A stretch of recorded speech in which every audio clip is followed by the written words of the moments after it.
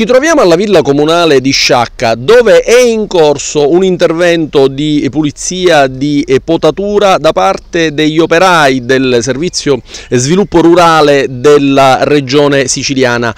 Sono gli stessi operai che ehm, qualche giorno fa abbiamo trovato all'interno del parco delle terme di Sciacca. Per quanto riguarda la villa comunale nelle ultime settimane c'è, lo abbiamo eh, verificato, un, un nuovo interesse, come sappiamo sappiamo oggi viene presentato un progetto in municipio che beneficia della collaborazione dell'Università di Palermo e, della, e del gruppo dell'associazione eh, guidata dal preside Parunzio, quindi diciamo ci sono degli elementi positivi per consentire alla città di fruire al meglio di questo spazio, di questo polmone verde. E Rino Marinello l'abbiamo trovato questa mattina qui all'interno della villa comunale, sta seguendo questi lavori. Comunque dei passi avanti si stanno compiendo, senatore? Eh, sicuramente, io ho iniziato le interlocuzioni con il Dipartimento di Sviluppo Rurale eh, nel mese di gennaio. Il 31 avevo presentato una nota al Comune di Sciacca dicendo che era necessario fare un atto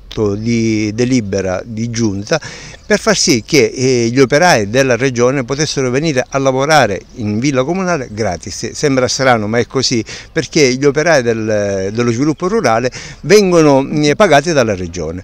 Era necessario fare formalizzare, non so se, ancora, se è stato fatto o meno quest'atto quest di delibera di giunta, questa eh, delibera per dire che la villa comunale è una villa che ha un interesse botanico, paesaggistico, storico e bisognava dimostrare semplicemente allo, al Dipartimento che il comune è proprietario, punto. L'ho seguito nel corso del tempo, naturalmente siamo in un momento particolare, siamo già nel mese di giugno e io l'istanza l'ho presentata il 31 di gennaio.